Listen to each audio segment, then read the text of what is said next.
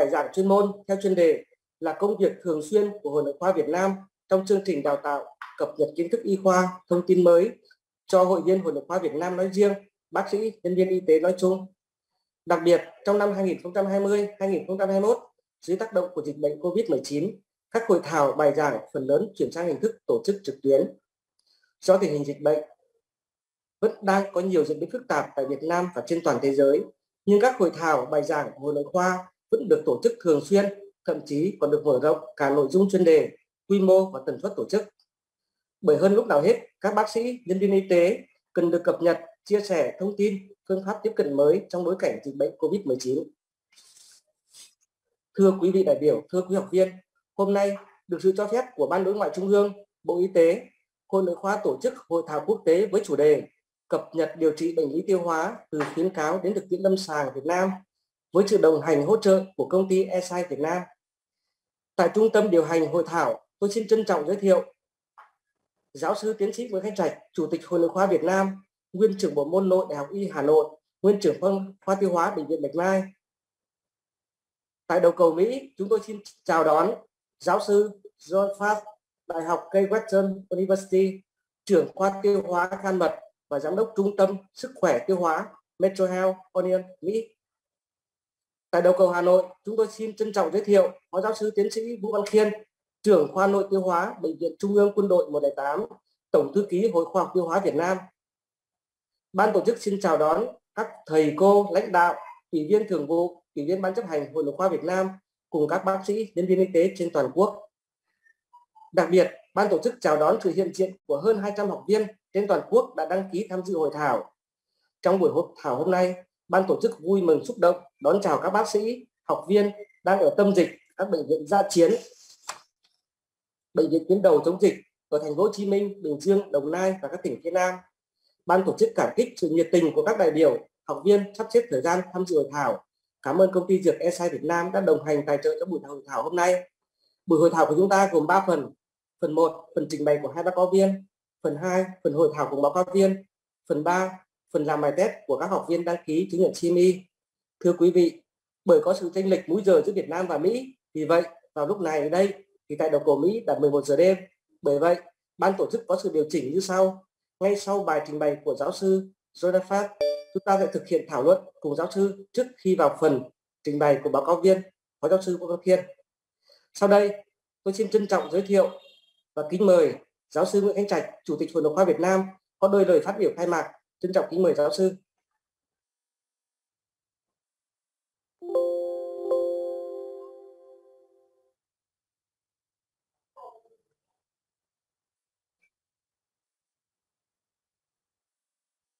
Hòa nhắc giáo sư Khánh Trạch bắt đầu mở cái mic ra.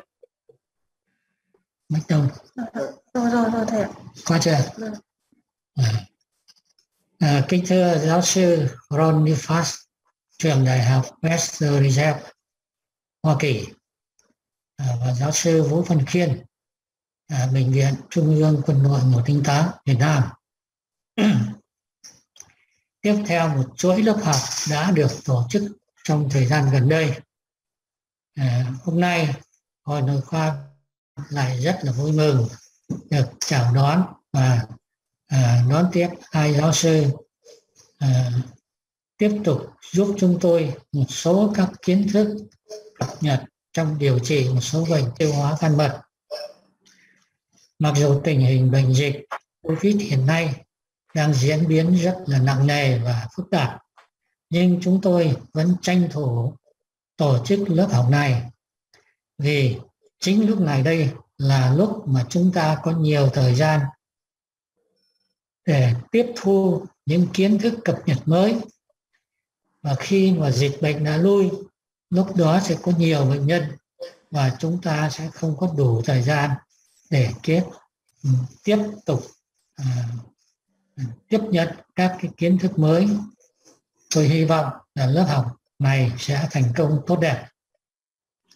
Xin chân thành cảm ơn hai giáo sư đã không quản ngại về dịch bệnh rất là nguy hiểm. À, vẫn đến với lớp học của chúng tôi. À, xin kính chúc hai giáo sư mạnh khỏe và tiếp tục giúp đỡ chúng tôi trong những lớp à, tiếp theo. À, nói như vậy nghĩa là sau lớp học này thì còn nhiều các cái lớp học khác mà chúng tôi cũng rất là mong muốn được đón tiếp hai giáo sư. Xin kính chúc các học viên của lớp học cũng dồi dào sức khỏe và tranh thủ thời gian để mà tiếp nhận những kiến thức mới cập nhật. Và chúng tôi xin à, kính chúc cho lớp học của chúng ta thành công tốt đẹp. Xin cảm ơn. Vâng trân trọng cảm ơn bài phát biểu của giáo sư Nguyễn Khánh Trạch chủ tịch hội nội khoa Việt Nam. Sau đây ban tổ chức trân trọng kính mời phó giáo sư tiến sĩ Vũ Văn Kiên chủ tọa của hội thảo hôm nay sẽ điều hành hội thảo. Kính mời phó giáo sư. À, kính thưa giáo sư tiến sĩ Nguyễn Khánh Trạch, ờ, Chủ tịch Hội Nội khoa Việt Nam, kính thưa các thầy, các cô, kính thưa toàn thể các đồng nghiệp. Ờ, và thưa kính thưa anh à, Nguyễn Nghĩa Hòa đã dẫn chương trình trong buổi ngày hôm nay. À, trước hết thì chúng tôi xin cảm ơn Hội Nội khoa Việt Nam, Ờ, công ty ASI đã cho phép và đặc biệt là cho phép tôi được xin được báo cáo và chia sẻ những cái kinh nghiệm trong buổi ngày hôm nay. À, theo cái chương trình của hội thảo ngày hôm nay thì sẽ có hai bài như bà anh Nguyễn Nguyễn Hòa đã đưa giới thiệu thì chúng tôi sẽ xin giới thiệu uh, báo cáo viên đầu tiên của ngày hôm nay được sự ủy quyền của thầy Trạch thì chúng tôi sẽ xin phép được giới thiệu uh, báo cáo viên đầu tiên đó là giáo sư Ronnie Phát. Uh, chúng ta đều biết thì uh, giáo sư Ronnie Phát uh, Ờ, là một giáo sư hết sức nổi tiếng ở trên thế giới. À, chúng tôi cũng rất là may thì hàng năm khoảng trên 10 năm nay thì chúng tôi đã tham gia vào các cái hội nghị của tuần lễ bệnh tiêu hóa châu Á Thái Bình Dương và chúng tôi cũng đã được tham dự các cái hội nghị tuần lễ bệnh tiêu hóa tại Mỹ ở khu vực châu Âu và chúng tôi đã được nghe những cái bài thuyết trình của giáo sư Ronnie Phát. Đây là một cái giáo sư hết sức nổi tiếng. Hiện nay thì giáo sư Ronnie Phát uh, ờ, là trưởng khoa tiêu hóa căn mật và đồng thời giám đốc trung tâm sức khỏe tiêu hóa của Metron Health ở bang Ohio của nước Mỹ. Ờ, giáo sư đã được phong uh, rất là lâu, ở trên cái đây khoảng 20 năm rồi và được phong là giáo sư y khoa trọn đời của Đại học Case Western River.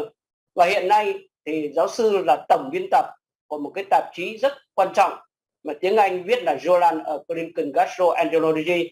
Thì chúng ta dịch ra đó là tạp chí thực hành về vấn đề tiêu hóa một cái tạp chí mà liên quan rất nhiều đến các bác sĩ tiêu hóa của chúng ta. Và đồng thời ông cũng là một cái hội đồng quản lý của tạp chí Journal Neurogastroenterology and Mortality tức là đây là một cái tạp chí về thần kinh tiêu hóa và chức năng vận động. Và đồng thời cũng là hội đồng của tạp chí của cái hội của hội uh, uh, hội uh, hội tiêu hóa của thế giới World Gastroenterology Organization. Và đồng thời cũng là chủ tọa của cái hướng dẫn và xuất bản trong cái vấn đề về bệnh lý tiêu hóa, bệnh lý của uh, bệnh lý chức năng của thực quản theo cái tiêu chuẩn Rome 4.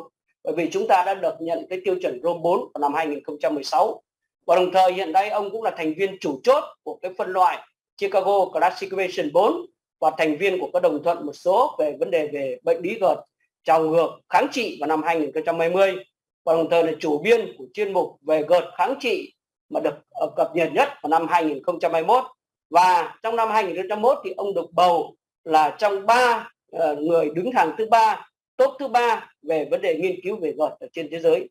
Như vậy thì chúng ta đã thấy là cái giáo sư Ronnie Phát hết sức nổi tiếng. Và hôm nay thì ông có chia sẻ một cái bài về phần tiếng Anh. Thì chúng tôi dịch sang tiếng Việt đó là bệnh lý nợt hay còn gọi là bệnh viêm thực quản. Không có trào ngược. Bệnh uh, tăng nhạy cảm thực quản và bệnh khó bệnh uh, Ờ, bệnh ờ, ừ, về thực quản chức năng thì làm thế nào để chúng ta phân biệt ở trong lâm sàng để sau đây chúng tôi xin trân trọng kính mời giáo sư Ronnie Phát trình bày. Uh, now, uh, first speaker from the I would like from the professor from the Ronnie Fat from from the American uh, professor from the Ronnie Fat is very famous uh, in gastroenterology, especially in gut and from the nut and function uh, function dyspepsia. Now today, I invite Professor Ronnie Fat to present patient nut and function and uh, to president now invite Professor Fat presentation. Thank you.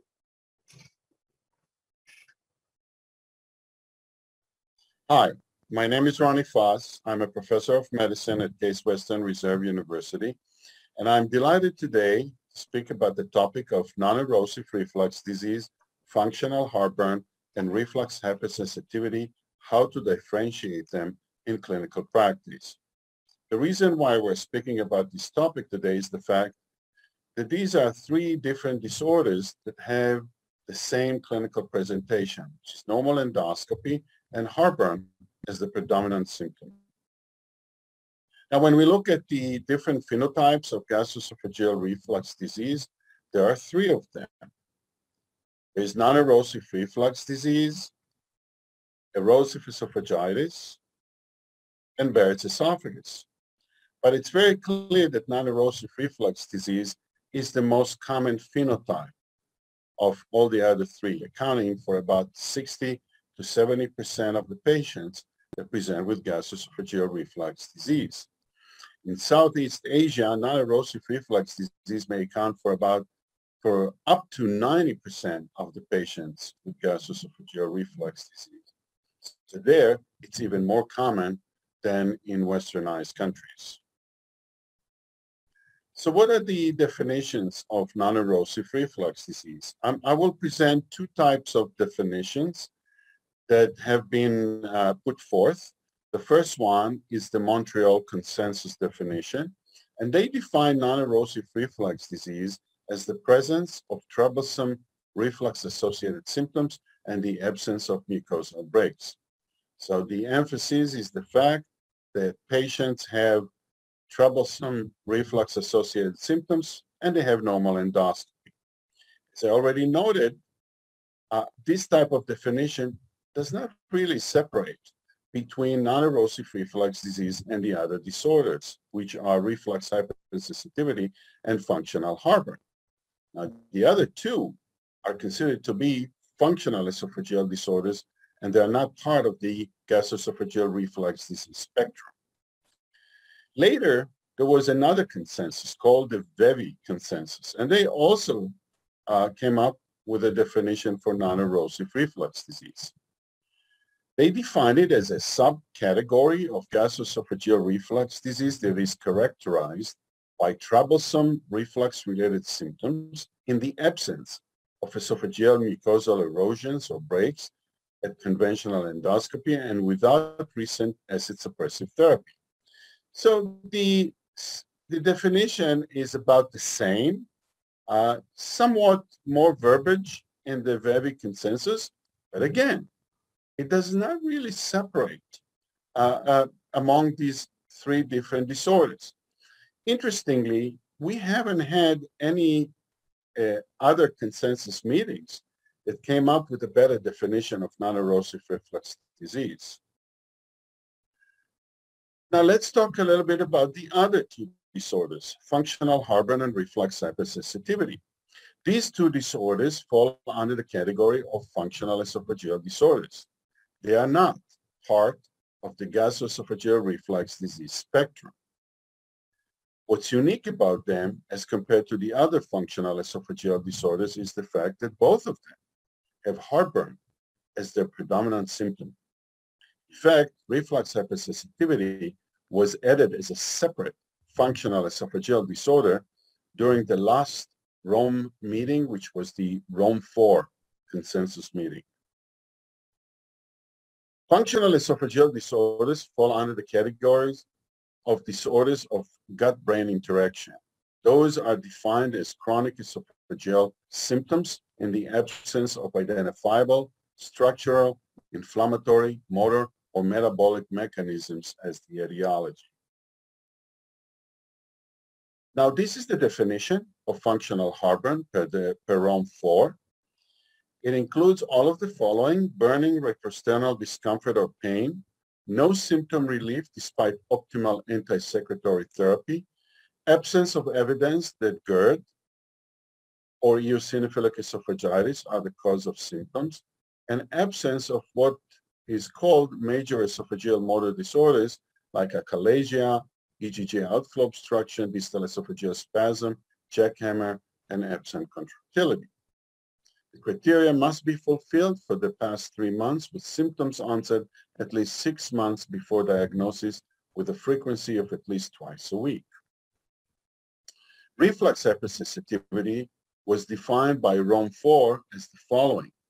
Retrosternal symptoms including heartburn and chest pain, normal endoscopy and absence of evidence that eosinophilic esophagitis is the cause of symptoms, absence of major esophageal motor disorders, as I pointed out under the definition, functional heartburn, and evidence of triggering of symptoms by reflux events despite normal acid exposure on pH or pH impedance monitoring, and response to anti-secretory therapy does not exclude the diagnosis.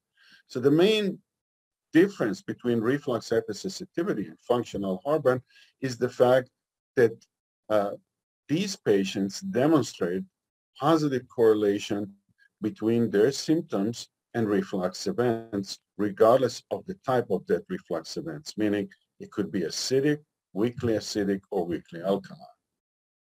Criteria must be fulfilled for the past three months with symptoms on onset at least six months before diagnosis with a frequency of at least twice a week. So why we're talking about non-erosive reflux disease, reflux hypersensitivity, and functional heartburn in this presentation? Because all three of them, as I mentioned at the beginning, have similar clinical presentation. These patients present with heartburn and normal endoscopy. When you look at the distribution of these type of disorders among these patients, then non-erosive reflux disease account for 50% of these patients, reflux hypersensitivity for 20%, and functional heartburn for 30% of these patients. As I mentioned, reflux hypersensitivity and functional heartburn are functional esophageal disorders where non-erosive reflux disease is a, one of the phenotypic presentations of esophageal reflux disease. Now let's look at patients that present with heartburn. So if somebody walks into your clinic for the first time with heartburn and you perform an endoscopy, about 30% of them will have erosive esophagitis. The other 70% of them will have a normal endoscopy. Now, in order to further separate the patients that present with normal endoscopy, you need to do reflux testing.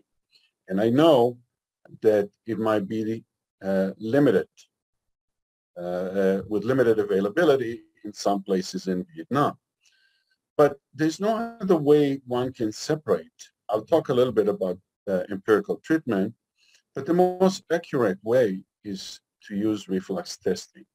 If you do reflux testing, then about half of these patients will have abnormal uh, pH test, and these are the patients with the non-erosive reflux disease. The other half will have a normal pH test. Now, to further separate them, then you need to look at symptom indices, which are collected during the pH test.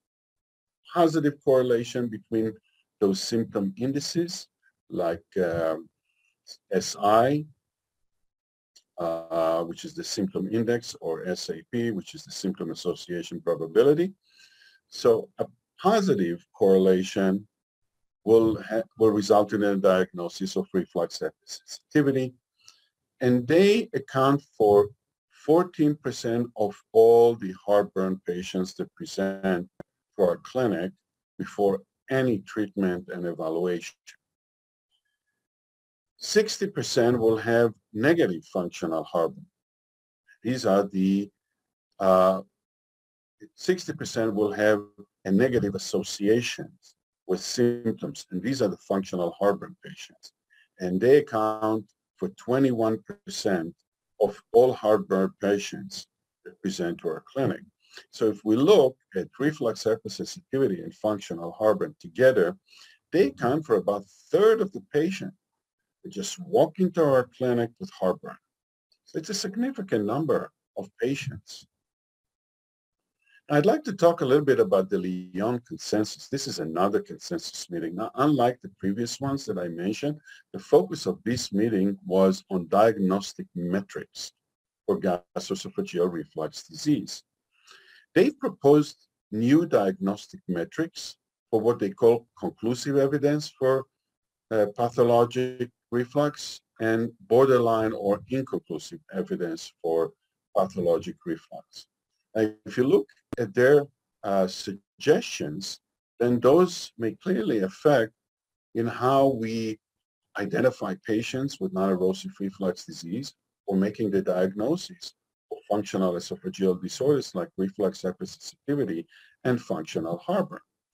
For example, they consider Los Angeles grade C and D erosive esophagitis as conclusive evidence for pathologic reflux.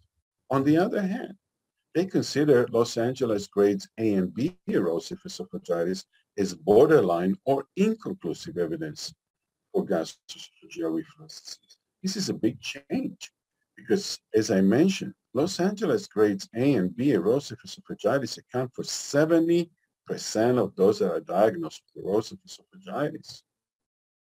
Also, change the diagnosis of what they consider an abnormal pH test. So their percent total time esophageal acid exposure, uh, what they call conclusive evidence is greater than 6%. The way we do it today is about 4%, and they say between 4% and 6%, this is borderline or inconclusive. So obviously, if you use the new suggested metrics by the Lyon consensus, you may see changes uh, in how you diagnose non-erosive reflux disease and definitely in how uh, you diagnose patient with reflux hypersensitivity and functional heartburn. I have problem personally with the diagnosis of grade B erosive esophagitis as uh, inconclusive or borderline because this is a patient with grade B erosive esophagitis and personally I don't think that anybody would argue that this patient does have reflux disease. Uh, clearly see uh, very impressive erosions. They fall under the category of grade B, but they're clearly not borderline or inconclusive. So I think that Lyon consensus did probably um, better or more refining uh, criteria. And uh, probably in the future we'll see um, Lyon version 2. Let me say a few statements about heartburn. It's very important because, as I mentioned, we're having here three disorders. One is part of the GERD spectrum, and the other two are just functional esophageal disorders. So what do we know about heartburn? Some basic principles. One, that esophageal symptoms are not stimulus specific. Very important to understand. For example, the old axiom no acid, no heartburn, is, has been considered to be obsolete for many years. Different types of symptoms may be generated by the same stimulus even in the same patient. Well, we know that, for example, in patients with non-cardiac chest pain. So the same patient may have chest pain and heartburn, and both of them could be the result of acid reflux. So we can see different symptoms that are generated by the same stimulus in the same patient. Heartburn can result from different intraesophageal stimuli. It also has been shown in studies that chemical stimuli, like acid reflux, or mechanical stimuli, like balloon distension, can all lead to the same symptom, which is heartburn. The esophagus, at the end of the day, has a very limited repertoire of symptoms. So the esophagus is not in a position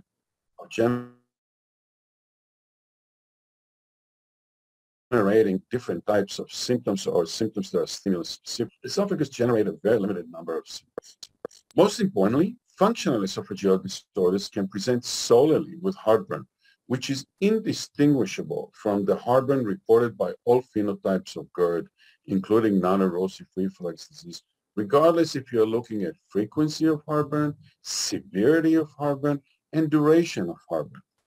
So if patient walks into our clinic reporting heartburn, it's very difficult to know based on any of these metrics that I mentioned, frequency, severity, and duration, if they have erosive esophagitis, non-erosive reflux disease, reflux hypersensitivity, or functional heartburn. In relation to underlying mechanism for uh, these type of disorders that we're covering in this lecture. Uh, this is a very interesting slide that came from the Rome 4 uh, consensus meeting. If you look on the left, there's the erosive esophagitis and non-erosive reflux disease. Both are GERD phenotypes. On the right, reflux hypersensitivity and functional heartburn, both are functional esophageal disorders. As you move from erosive esophagitis towards NERD, you can see that in erosive esophagitis, acid exposure plays um, almost an exclusive role as an underlying mechanism for patient symptoms. In non-erosive reflux disease, still acid exposure is the most important underlying mechanism, but you can start to see also a component of esophageal hypersensitivity. In reflux hypersensitivity, where correlation between symptoms and reflux events is very important uh, for symptom presentation, we start to see that, esophageal hypersensitivity is the main underlying mechanism, but still acid exposure has some role. Functional heartburn, it's exclusively esophageal hypersensitivity as the underlying mechanism. And this is the definition of esophageal hypersensitivity. It's the perception of, of non-painful esophageal stimulus as being painful, what we call allodynia, and normally painful esophageal stimulus as being more painful than usual, what we call hyperalgesia. Now, I know that in practice, the way we separate uh, among these uh, different GERD phenotypes and hoping uh, separating between GERD and functional esophageal disorders is by giving patient an empirical PPI treatment and hoping to identify the different groups uh, by their response to PPI. And if you look at this slide, you can see that patient with non-erosive reflux disease demonstrate the highest response to empirical PPI treatment, followed by patient with reflux hypersensitivity, and then patient with functional heartburn demonstrate no response to empirical PPI treatment.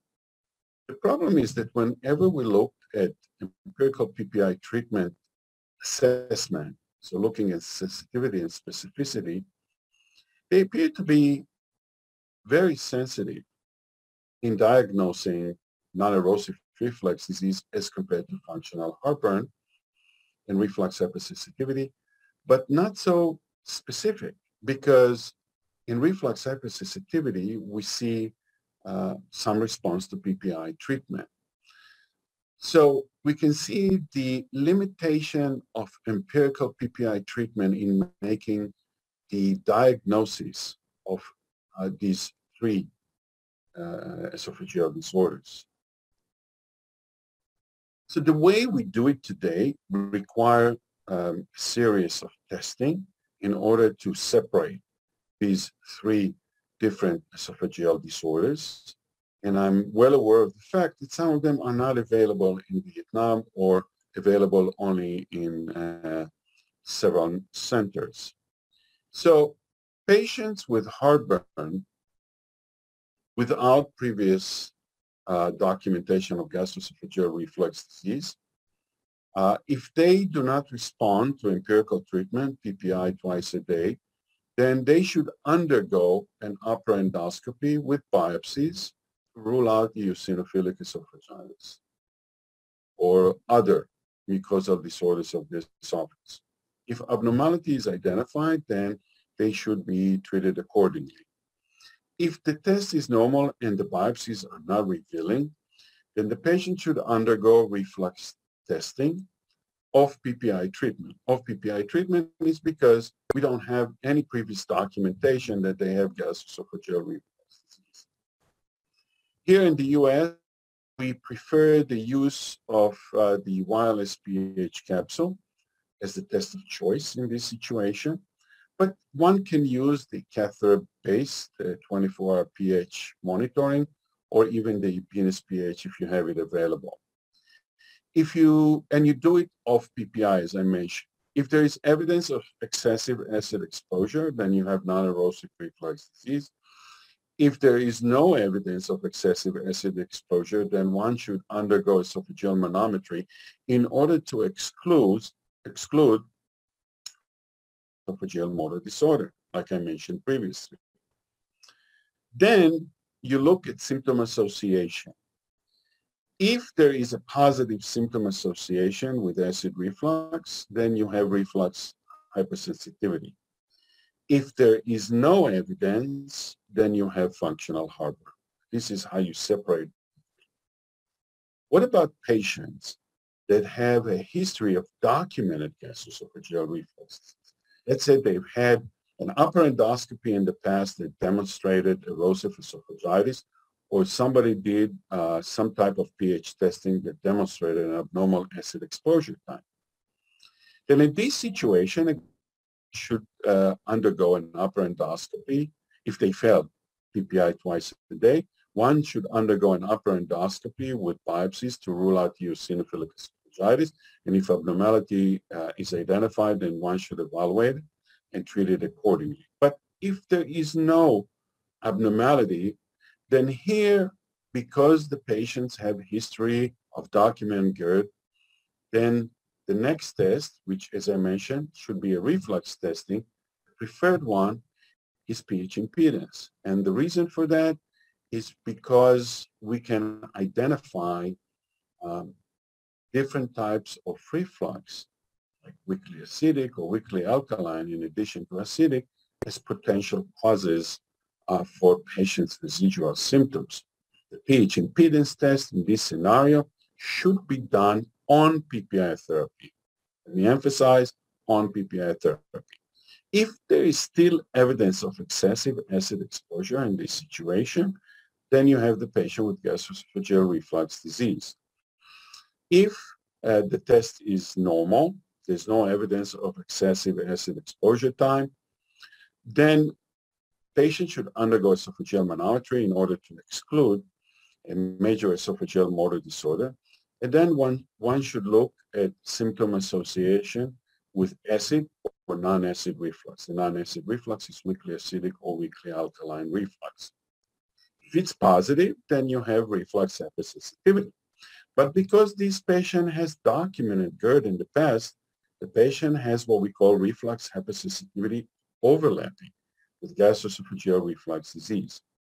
If the symptom association with acid or non-acid reflux is negative, then you have functional heartburn. And again, because the patient has history of gastroesophageal reflux disease, then one should consider it as functional heartburn overlapping with gastroesophageal reflux disease. Now you can use a variety of other tests, and I will not dwell too much on it because I know many of them are not available. Uh, but just wanted to mention because you will see it in the literature. For example, you can use high magnification endoscopy with narrowband imaging. Uh, the narrowband imaging is a is a filter of a certain uh, uh, uh light length. Uh, and during narrowband imaging, one can see um, um very minute abnormalities at the um, esophagogastric junctions like microerosions and increased vascularity, which are more common in patients with non-erosive reflux disease. Uh, other options is to take biopsies uh, from the distal esophagus in order to separate uh, between patients with non-erosive reflux disease and those with functional heartburn. There are no studies really looking at reflux hypersensitivity, uh, but one would assume that they would probably look on biopsies like patient with functional heartburn. Uh, biopsies probably are unlikely to separate between functional heartburn and reflux hypersensitivity. But as I said, in this study, uh, they came up uh, with histomorphological sum score, which is based on traditional histological findings in gastroesophageal reflux disease like papillary elongation, basal cell hyperplasia, distal uh, dilated intercellular spaces, and the presence of um, inflammatory infiltrates within the esophagus. All of those, all of these are suggestive of gastroesophageal reflux disease, but because it's done in patient with normal endoscopy, they will be suggestive of non-erosive reflux disease. A combination uh, of these findings uh, can separate between non-erosive reflux disease and functional esophageal disorders.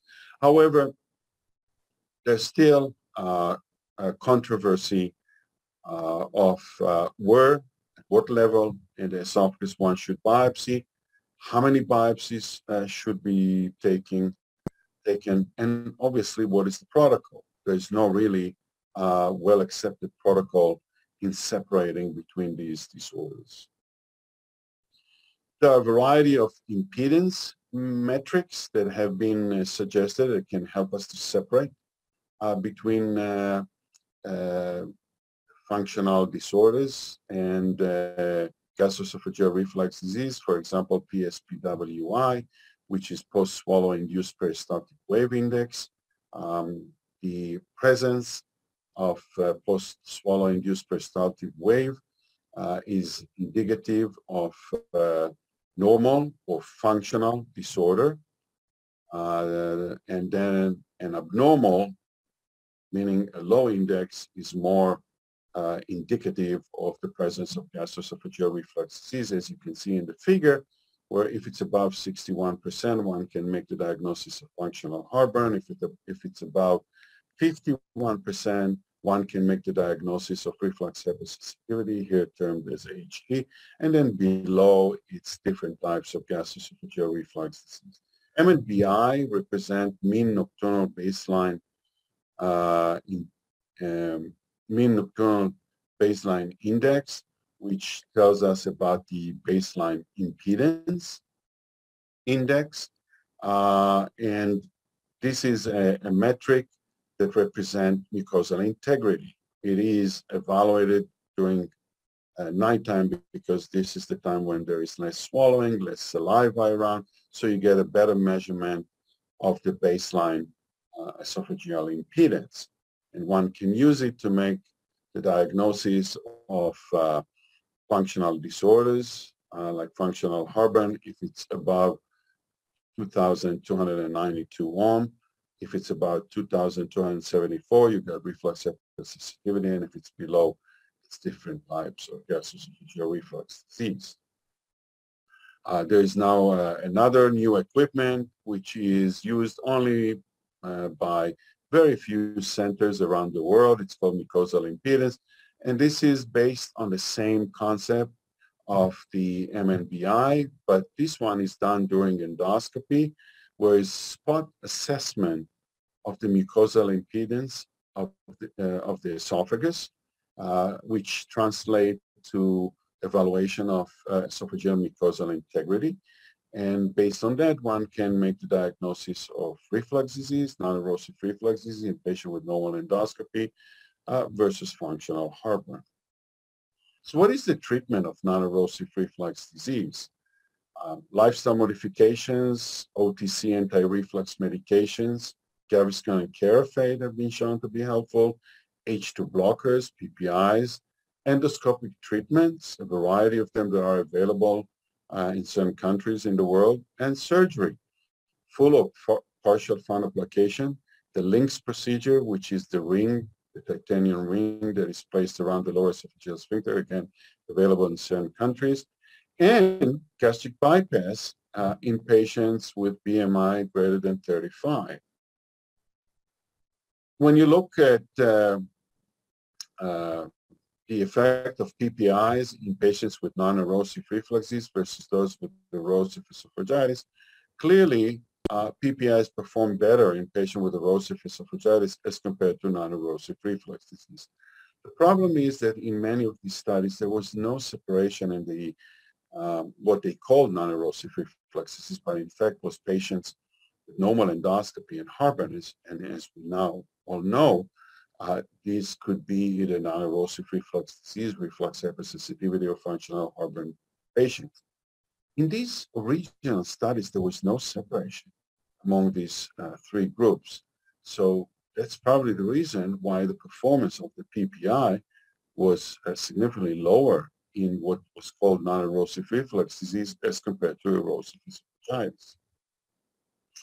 In fact, this is a study that uh, they took patients with erosive esophagitis and looked at their response to PPI once a day for four weeks period. And they noticed that 72% uh, of them responded. Then they took the patient that had normal endoscopy and harbored what was traditionally called non-erosive reflux disease, but they make an effort to separate them from the functional esophageal disorder. So all of these patients had to undergo reflux testing and had to demonstrate an abnormal esophageal acid exposure.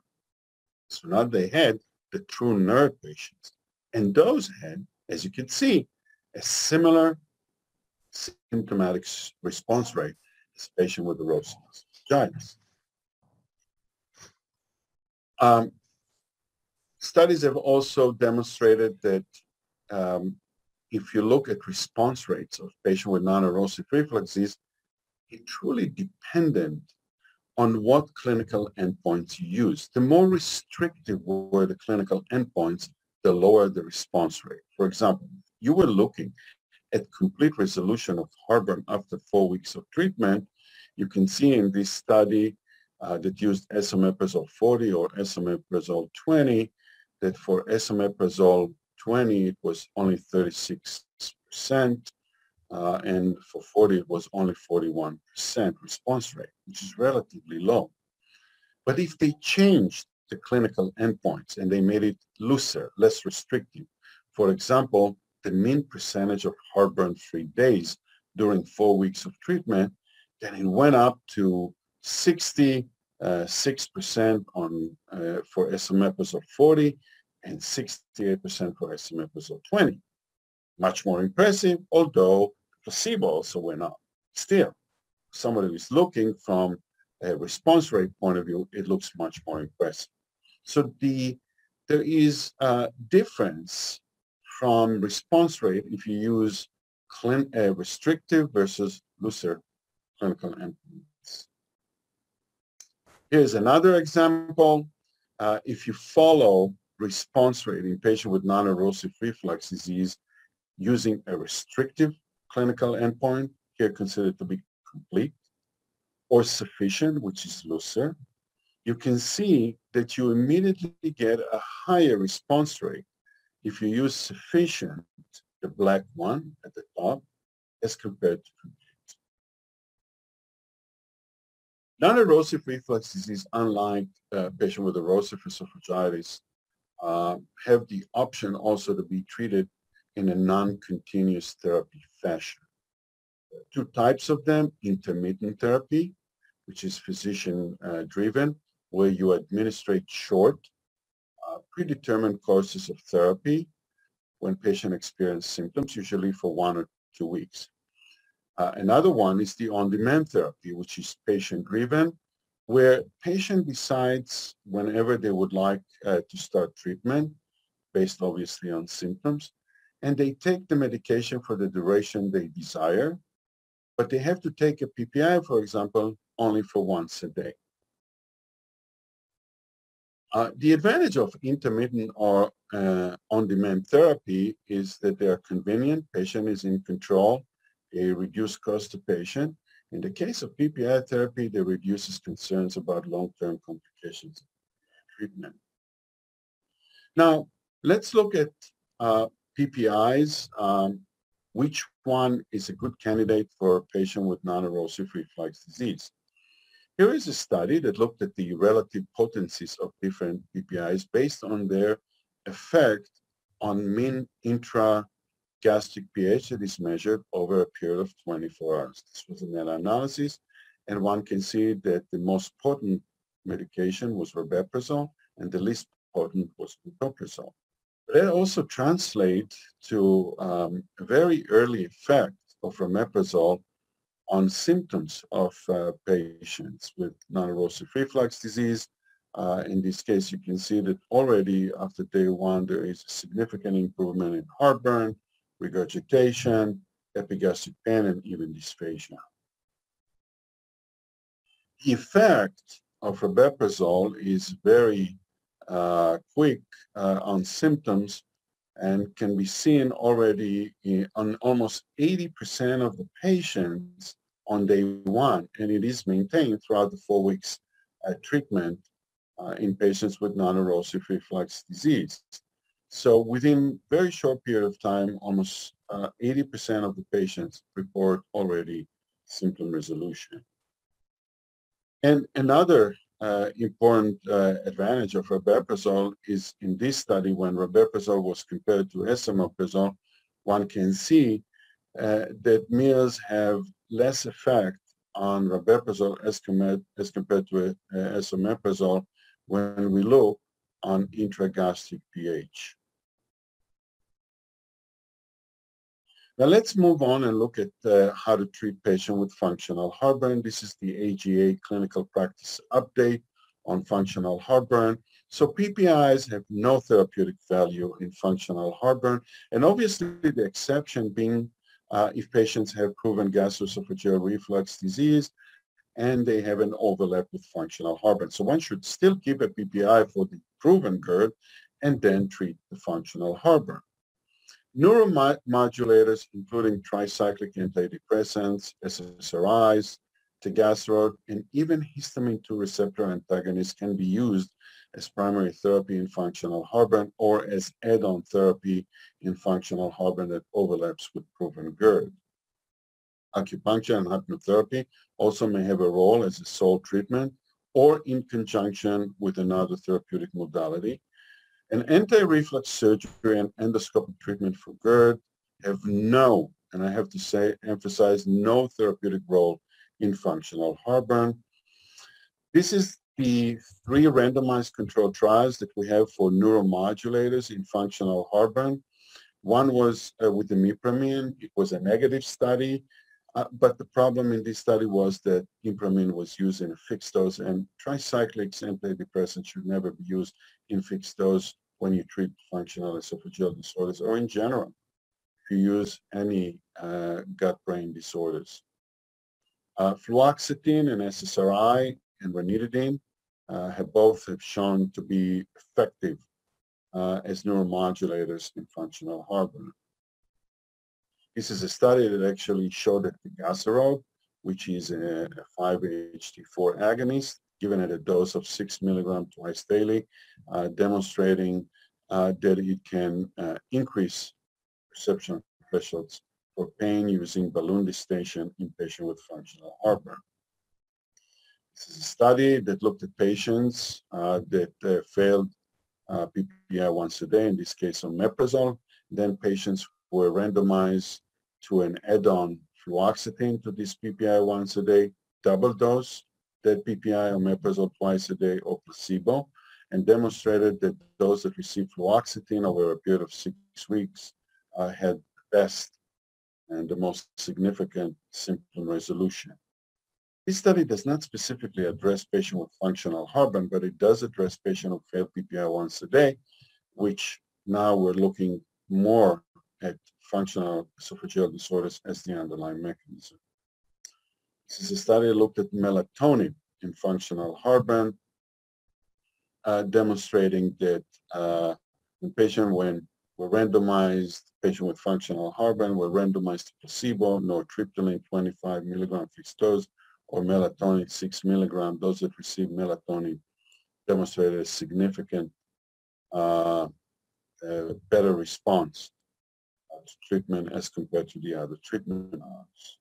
Hypnotherapy, small study, only nine patients, but demonstrated that hypnotherapy was able to reduce symptoms in patients with functional heartburn. What about reflux hypersensitivity? These are the proposed treatment guidelines uh, for reflux hypersensitivity as was published in the recent esophagus textbook. PPIs have a therapeutic value in reflux hypersensitivity, regardless if it overlaps with gastroesophageal reflux disease. Neuromodulators, including TCAs and SSRIs, can be used as primary therapy in reflux hypertherapy or as add-on therapy in patients with uh, documented GERD and overlapping reflux hypersensitivity. Acupuncture and hypnotherapy may have a role as sole treatment or in conjunction with other therapeutic modalities. And here, unlike functional heartburn, anti-reflux surgery, but not endoscopic GERD treatment modalities, may have a therapeutic role in carefully selected reflux hypersensitivity patient. And I'd like to emphasize carefully selected reflux hypersensitivity, patient one has to be very, very careful before sending or submitting patient with reflux hypersensitivity to anti-reflux surgery.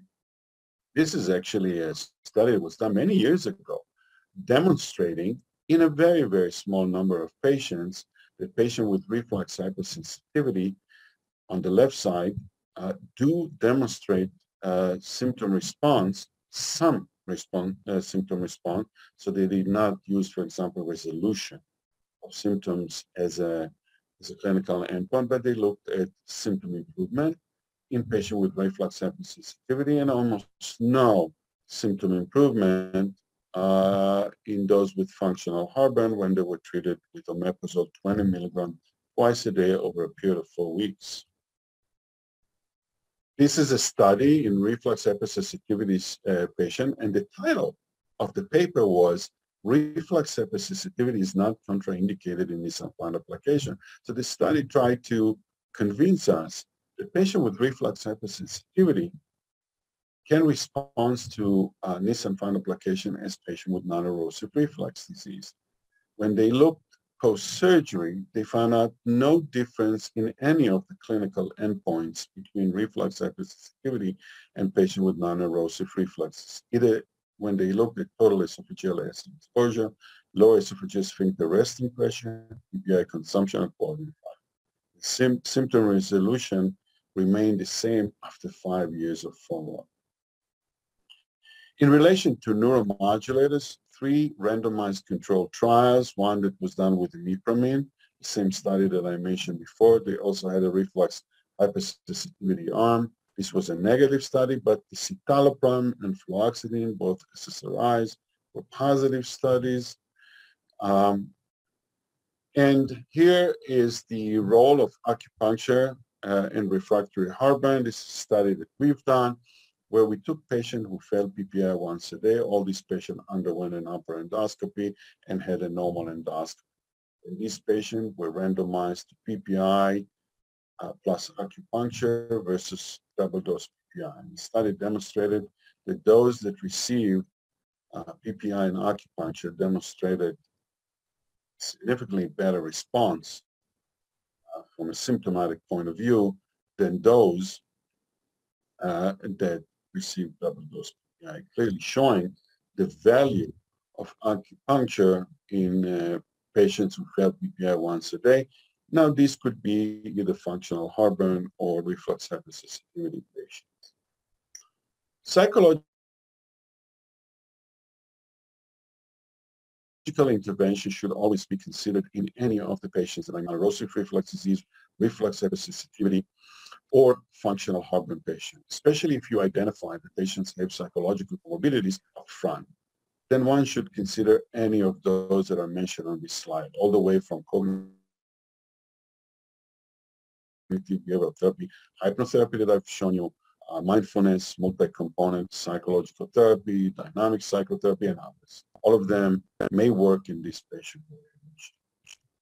Now, I'd like also to emphasize the importance of addressing the patients with documented GERD that failed PPI twice a day and were found to have an overlap with either reflux hypersensitivity or overlap with functional heartburn. What are the options of treatment in these patient populations? And so this was published in a paper uh, that I've had with Dr. Gyawali, gastro, and we recommended that in the case of reflux hypersensitivity that you add to PPI treatment because these patients do have GERD. So you add to PPI treatment either baclofen, neuromodulators, psychological intervention, and alternative or complementary medicine. In the case of uh, overlap with functional heartburn, you may add to PPI treatment, neuromodulators, psychological intervention, or alternative uh, or complementary medicine. So I would like to thank you for giving me the opportunity uh, to present you this very exciting and very uh, dear to me topic. And I'll be happy to answer uh, any question that you might have. Thank you very much. Yes. Okay. Uh, thank you very much for your for lecture from, uh, from Professor from uh, Ronnie Fat. Now, from the, in the time for the uh, question and answer in between from the Professor Ronnie Fat and uh, uh, and Doctor from uh, in Vietnam, uh, which is uh, some from uh, um, question. À, như vậy thì uh, chúng ta đã nghe cái bài uh, của giáo sư Ronnie Fat rất là quan trọng uh, nói về cái bệnh trào ngược uh, thực quản nhưng mà không có tổn thương.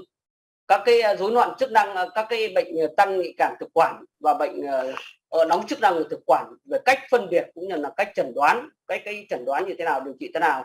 À, sau đây thì xin uh, kính mời các quý thầy cô các anh các chị chúng ta sẽ có độ khoảng có một số các cái câu hỏi.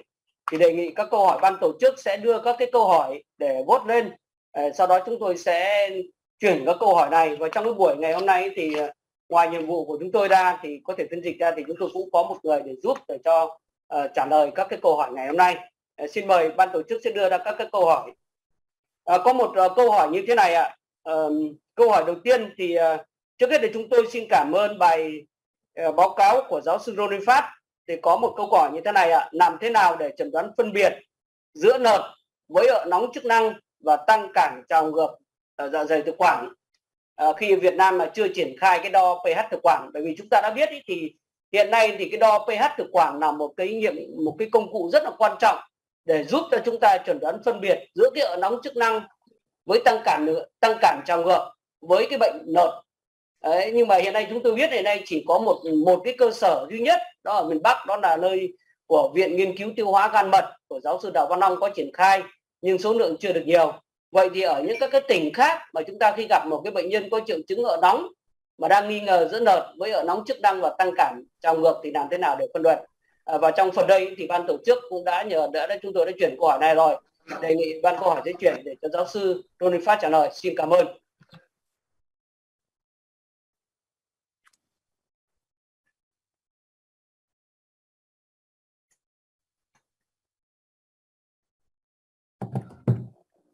Uh, the professor, um, Ronnie Fass. Can you hear us? Yeah, like uh, you have to you have to allow me. It says that I cannot start a video because the host has stopped it. So you have to allow me to to, uh, to get my video on. Um, vâng ạ, xin mời ban tổ chức để cho giáo sư có thể uh, bật video lên ạ. Okay. Okay, so uh, we uh, thank uh, firstly thank you for your excellent talk, and we have uh, some questions for you. So the first question is uh, how to differentiate between NERD with functional heartburn and reflux hypersensitivity when in Vietnam um, it's not available for PS uh, impedance test uh, in some places. So uh, I have to say that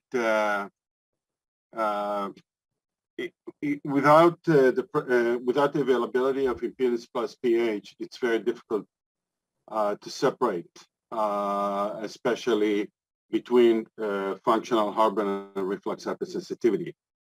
one can separate between non-erosive reflux disease and the other functional esophageal disorders by treating patients empirically. The assumption is that patients with non-erosive reflux disease are more likely to respond to PPI treatment uh, as compared to uh, patients with uh, any of these uh, two functional esophageal disorders. And if patients are unresponsive, then you may be looking at patients with functional heartburn and reflux hypersensitivity.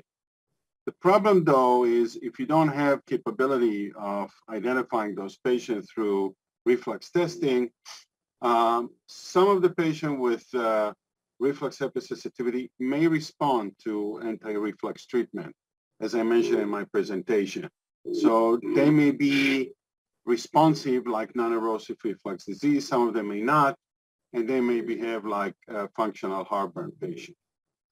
But in general, the general concept in a place where you don't have function, uh, where, where you don't have reflux testing is that response to PPI treatment is more likely to be by gastroesophageal reflux disease patients and lack of response is more likely that you're dealing with functional esophageal disorders patients. I'm not sure how common it is in Vietnam to double the PPI dose like we do in the States or in Europe, uh, because if you go to a double dose and the patient still do not respond, then you're truly looking at a functional esophageal disorders. Again, it's very difficult uh, to differentiate if the patient has functional heartburn or reflux hypersensitivity without reflux testing.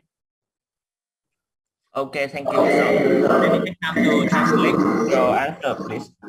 Um, vâng ạ, đầu tiên cái câu hỏi này thì giáo sư sẽ trả lời thế này ạ. Thực ra tôi biết là ở Việt Nam ấy thì đúng là không phải là tất cả mọi nơi đều có cái cái test uh, trào ngược này ạ. Thì rất là khó để mà có thể phân biệt được cả ba cái cái rối loạn thực quản này.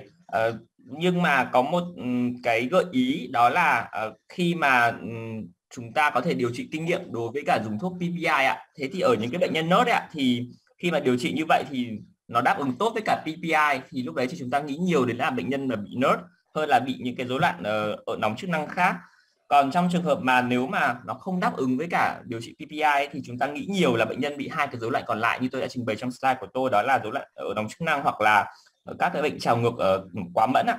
À, tuy nhiên thì uh, vấn đề là đối với cả những cái ở Việt Nam ấy thì chúng ta có thể điều trị kinh nghiệm bằng cách là uh, gấp đôi cái liều PPI lên ạ giống như ở châu Âu chúng ta làm ở châu Âu chúng tôi làm ạ thì nếu mà bệnh nhân mà vẫn không đáp ứng thì chúng tôi vẫn nghĩ nhiều đấy là bệnh nhân bị cái rối loạn về chức năng nhiều hơn là uh, thực sự là bị nớt.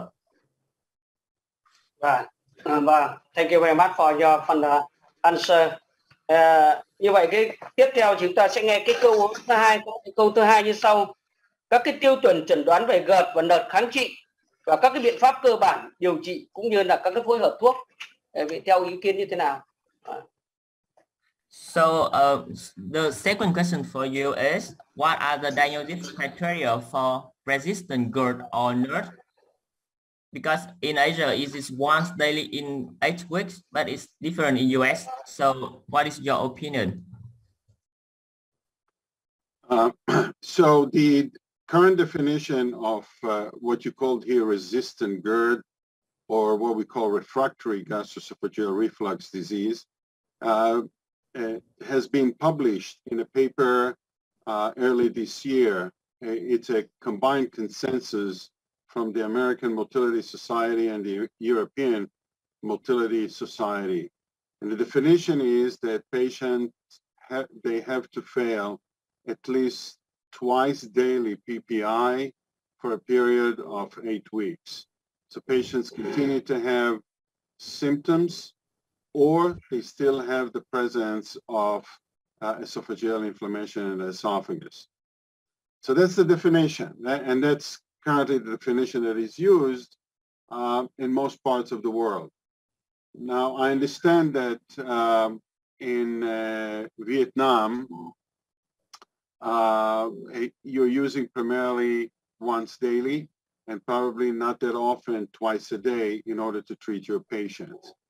Um, it, it, could be that the definition should be different uh, for Asia. As we all know, there is the Asian Pacific guidelines for gastroesophageal reflux disease, and I think those guidelines that uh, were led, for example, by Professor Fock, um, try to address uh, unique challenges uh, in relation to gastroesophageal reflux disease in Asia although even in Asia, it's it's it's it's also heterogeneous, and and the uh, diagnosis of refractory GERD may be different in different countries. Uh, but currently, it's true the definition, the accepted definition, is failure uh, of uh, patients' response to PPI twice a day. Thank you. À, vâng ạ, xin được phép dịch câu trả lời của giáo sư ạ. Đó là về cái định nghĩa của cái người kháng trị ạ, mà trong chúng ta vẫn còn gọi là NERD đấy ạ, thì uh, đã được xuất bản vào trong đầu năm nay theo cái đồng thuận của Hội Tiêu hóa của Hoa Kỳ và uh, châu Âu ạ. Thế thì người ta định nghĩa là uh, trong cái trường hợp mà người kháng trị hoặc là NERD ở đây khi mà chúng ta dùng PPI hai lần một ngày và trong vòng 8 tuần mà bệnh nhân vẫn có các xuất hiện các cái triệu chứng thì ở đây là uh, Ờ, định nghĩa là GERD kháng trị. Và cái cái đồng thuận và cái định nghĩa này ấy, thì được sử dụng ở rất là nhiều nơi trên thế giới ạ. Tuy nhiên là như theo theo giáo sư được biết ạ thì ở Việt Nam chúng ta vẫn đang dùng là PPI một lần trên một ngày ạ. Và rõ ràng là cái định nghĩa về cái bệnh ờ, uh, GERD ở châu Á mà nói chung mà ở Việt Nam nói riêng ạ thì nó sẽ thay đổi và giữa các quốc gia khác nhau thì nó có sự thay đổi. Và hiện tại thì bây giờ Hội Tiêu hóa Việt Nam thì cũng đang làm việc ở trên cái guideline các cái định nghĩa về gột và các cái thương tưởng uh, ờ, tổn thương uh, thì ừ, giáo sư mong là khi mà chúng ta có cái định nghĩa cụ thể của hội ấy, thì chúng ta có thể cái cái định nghĩa và cái điều trị nó sẽ được sắc đáng hơn ạ.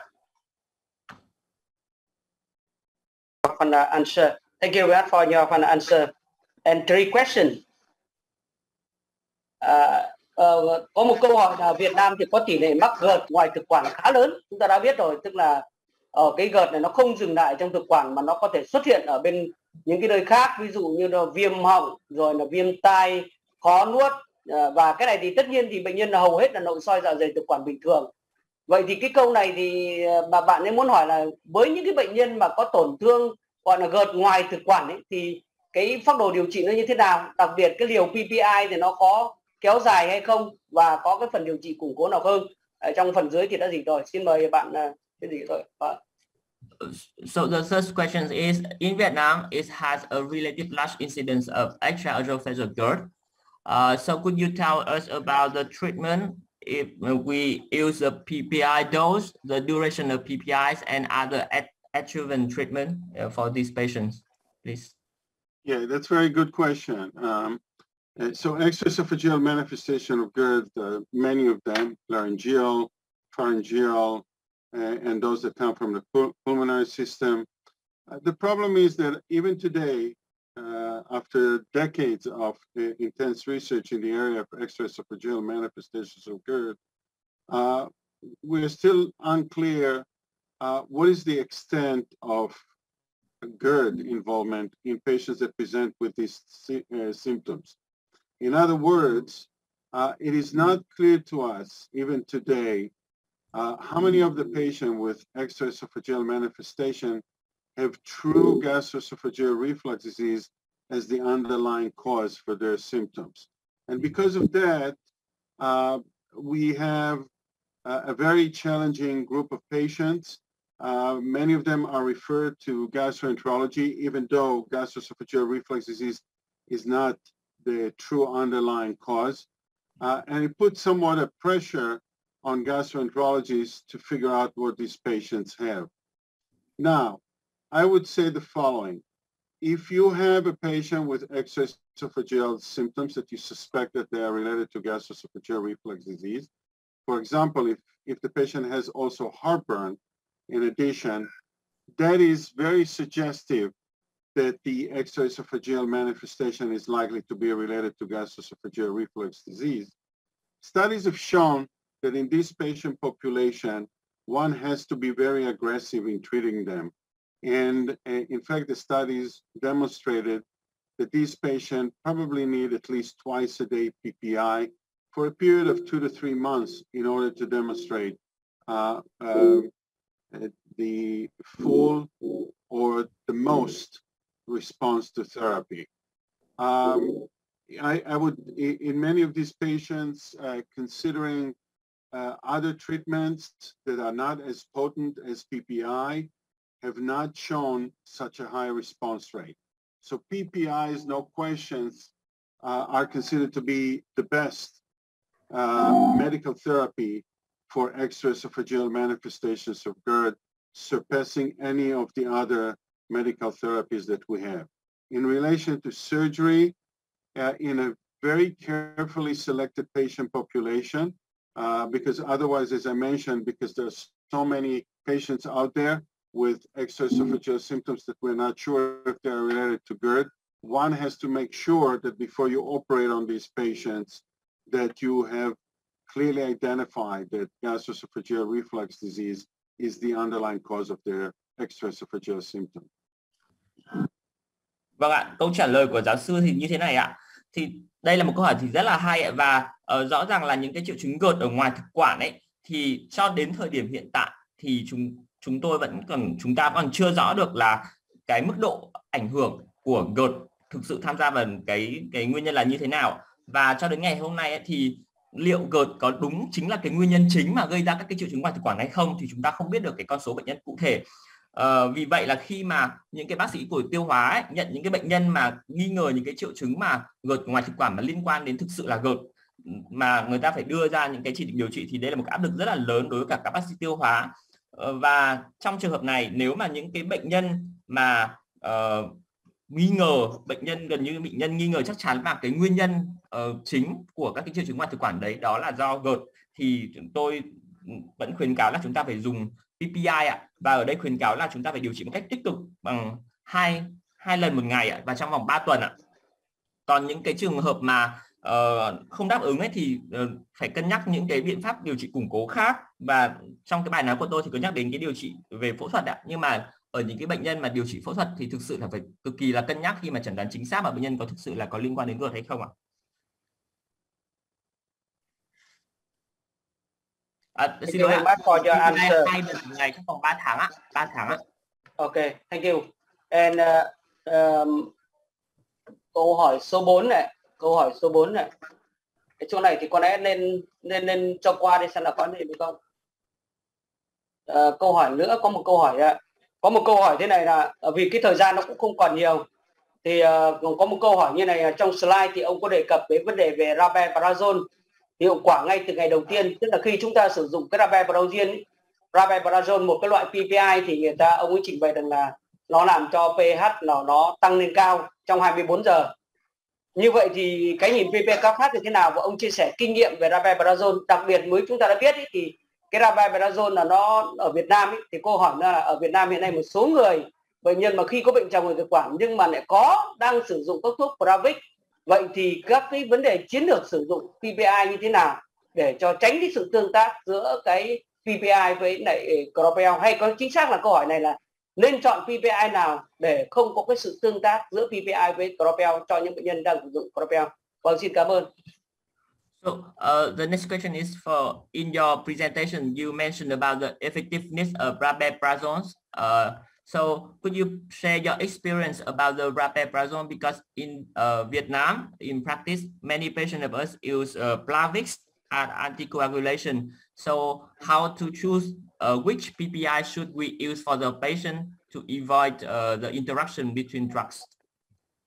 So definitely, uh, because of the unique uh, characteristic pharmacokinetics and pharmacodynamics of rabeprazole, it makes it a very um, desirable drug, uh, especially like you mentioned when you use uh, Plavix in conjunction um, uh, because uh, in, in the way it is metabolized uh, by the liver. Now, in relation to efficacy, the all the PPIs are effective, but because of the unique pharmacodynamics of rabeprazole, where one can see uh, early effect on intragastric pH, early and rapid effect.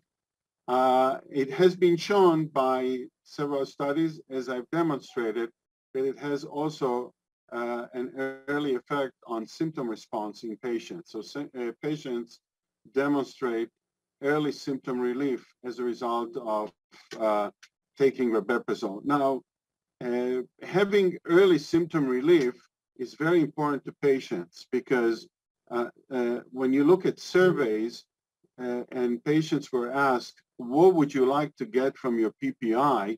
Then the number one response is uh, rapid symptom relief. And so that relief uh, uh, fit into patients' expectations. They would like to see rapid response. In addition, early response also uh, increase patient satisfaction and, and uh, in addition, compliance with medication. Dạ vâng ạ. Như thế này ạ. Trong cái đặc tính uh, dược động học của ờ, uh, rabeprazole ấy ạ thì nó được chuyển hóa ở gan và nó cũng vẫn có thể được dùng đối với những cái bệnh nhân mà đang đang dùng Plavix như như mà ừ, câu hỏi của các bạn và còn uh, về cái hiệu quả của rabeprazole ấy, thì thực ra là những so với cả những cái uh, PPI khác thì vẫn có thể được sử dụng tuy nhiên là do cái đặc tính dược động học uh, của đặc biệt của rabeprazole nó làm giảm triệu chứng thì rất là nhanh ạ. Và cái đáp ứng trong như trong trình bày đó là ngay cái ngày đầu tiên nó đã giảm được cái triệu chứng uh, của bệnh nhân. Và cái điều này thì rất là quan trọng bởi vì mà khi mà khảo sát bệnh nhân ấy, thì về mức độ hài lòng của bệnh nhân vì họ lúc nào cũng hỏi câu hỏi là khi nào thì triệu chứng đỡ hoặc giảm thì cái việc sử dụng rapeprazole nó làm giảm triệu chứng uh, rất là sớm và nó đáp ứng được cái kỳ vọng của bệnh nhân đối với việc là điều trị mà có đáp ứng nhanh. Và cái việc đáp ứng nhanh như này thì nó cũng uh, tốt đối với cả cái tình trạng tuân thủ điều trị của bệnh nhân ạ.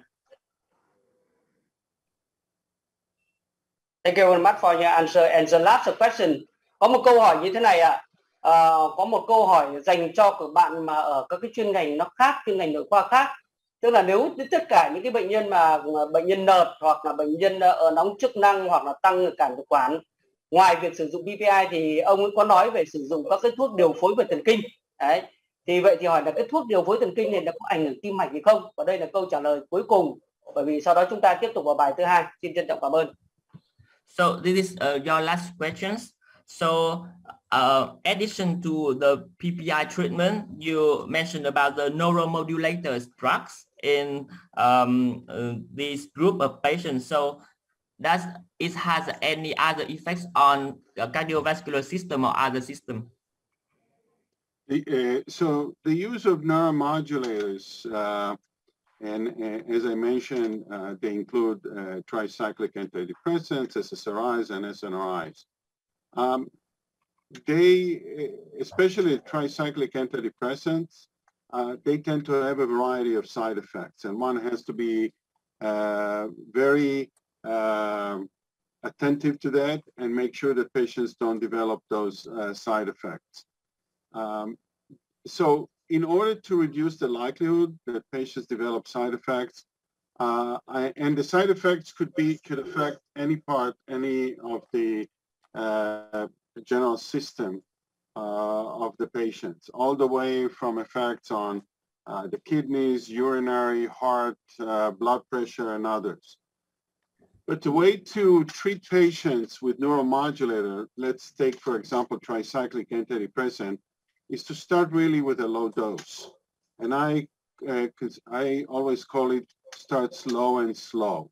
So you start with a very low dose. Let's say you start with a imipramine or nortriptyline.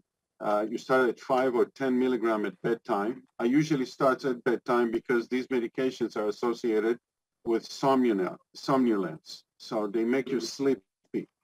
Uh, I give it at bedtime because uh, they don't affect uh, patients' activity during the day, especially if they work, but also they serve as a good sleeping pill. And as you know, good sleep uh, is associated with improved symptoms because it's uh, analgesic, a good sleep. Uh, and then I increase it by 10 uh, milligram increments uh, until I get patient symptoms under control. Uh, by doing that, I'm trying to avoid side effects. And because I carefully increase the dose, if the patient at a certain point develop any type of side effect, I can go back to the previous dose uh, that patients uh, tolerated and just keep the patient on that dose if it was still effective. Ok, thank you. Và câu trả lời của giáo sư giống như là trong cái phần trình bày của tôi á, thì trong dùng các cái thuốc ức chế thần kinh mà chúng ta nhắc đến ở đây là các thuốc trầm cảm bao vòng. Uh, thì uh, rõ ràng là các cái thuốc này thì nó đều có tác dụng phụ thì chúng ta phải theo dõi tác dụng phụ lên thận, lên uh, tim và lên huyết áp. Và tôi lấy ví dụ ở đây là tôi sử dụng cái thuốc chống trầm cảm bao vòng ạ thì đối với cả những thuốc điều hòa thần kinh ấy, thì chúng ta cần có một cái nguyên tắc đó là chúng ta bắt đầu bằng liều thấp và ở đây là liều thấp và bắt đầu tức là dùng chậm tức là low and slow ạ.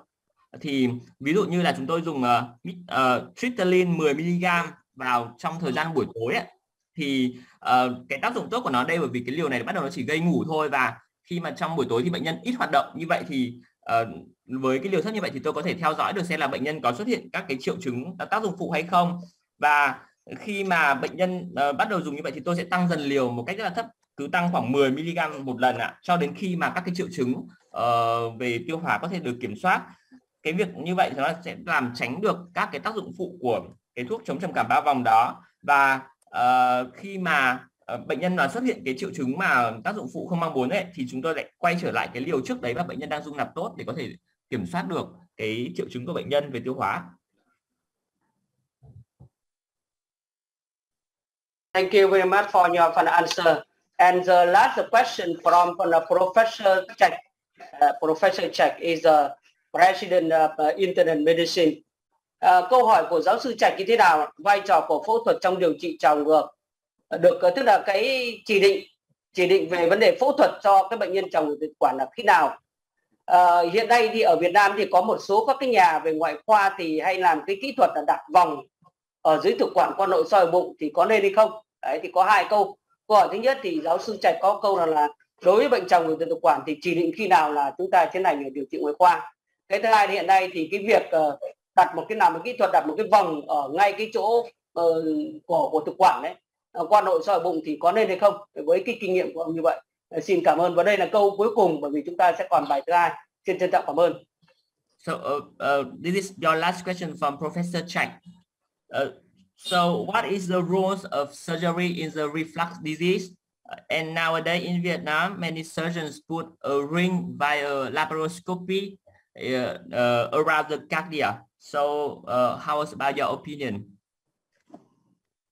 So um, yeah, surgery is, is, still in vogue uh, and uh, still has a role in, in patients, uh, primarily in, in patients that have certain characteristics like patients with large hiatal hernia, patients that suffer from regurgitation, patients that are allergic don't want to take uh, uh, medications, uh, patients that are concerned about chronic PPI treatment.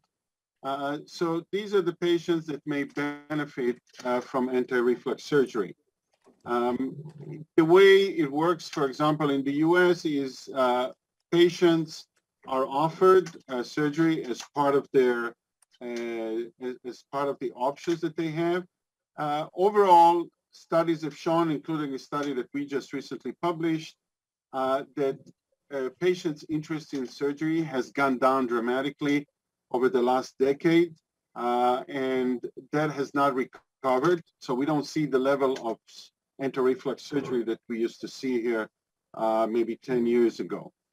Uh, in relation, another thing I wanted to mention, in patients and I don't know how common it, it is, this phenomenon in Vietnam, but here we have patients with gastroesophageal reflux disease and a high BMI. So they're obese or morbidly obese, uh, BMI greater than 35.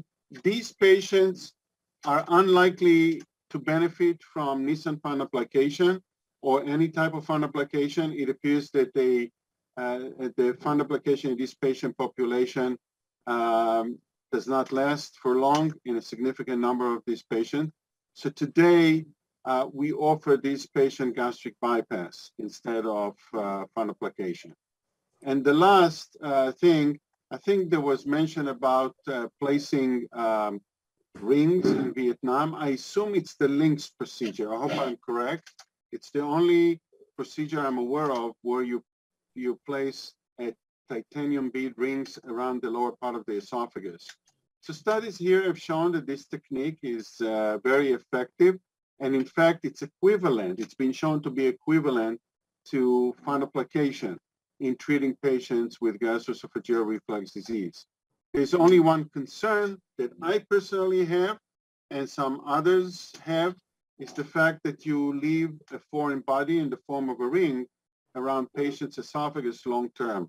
And we're still missing very long-term studies to show the safety of leaving such a ring, a foreign body around patient's esophagus for a long period of time if it eventually erodes into the esophagus or it stays where it is. Vâng ạ, câu câu trả lời ở đây ạ thì là đối với cả như như trong cái bài trình bày của tôi ạ thì về vai trò của phẫu thuật thì nó cũng có vai trò nhất định trong điều trị những cái bệnh lý trào ngược ở đây. Và cái chỉ định của nó thì uh, ở những cái trường hợp mà bệnh nhân uh, đặc biệt là những cái bệnh nhân mà họ không họ rất là quan ngại về vấn đề là sử dụng PPI kéo dài hoặc là bệnh nhân không muốn sử dụng thuốc thì chúng ta vẫn có thể chỉ định phẫu thuật. À, tuy nhiên là ở Mỹ ạ, thì trong vòng một thập kỷ gần đây ấy, thì chủ yếu là cái số lượng mà được phẫu thuật thì rất là ít gần như là rất là thấp ạ chỉ trừ những cái trường hợp mà bệnh nhân mà bị béo phì mà có ờ, BMI rất là lớn và thường là trên 35 thì chúng tôi uh, có thể có gặp những cái bệnh nhân đấy và chỉ định phẫu thuật và ngày hôm nay ở ngày nay ở Mỹ thì người ta còn làm một phẫu thuật gọi là nối tắt vào dạ dày gastric bypass ạ. Thế còn cái việc mà uh, như đặt cái vòng như quý vị đặt câu hỏi ạ thì có những cái đã có những cái bài báo mà nói về cái cái kỹ thuật này là cái tác dụng của nó ấy, thì nó cũng tương đương với cả kỹ thuật Nissen uh, kinh điển. À, tuy nhiên là có một cái điều mà ừ, chúng tôi lo lắng nhất đó là khi chúng ta đặt một cái dị vật vào cái phần dưới của thực quản như vậy ấy, thì uh, liệu là nó có những gây biến chứng hay không bởi vì vẫn đang thiếu các cái bằng chứng về cái kết quả dài hạn nếu mà nó có nó có gây loét hay không hoặc là cái độ ổn định của cái vòng đấy như thế nào thì vẫn cần những cái nghiên cứu về long term dài hạn về sau ạ. Dạ. Vâng, xin ờ, cảm ơn câu trả lời của giáo sư Tô Phát. À, kính thưa giáo sư tiến sĩ Nguyễn Tinh Thạch, Thạch, kính thưa tất cả các cái đồng nghiệp và các anh chị. À, như vậy thì cái bài trình bày của giáo sư Ron Phát thì đến đây là chúng ta đã dừng. À, và bởi vì ờ, cũng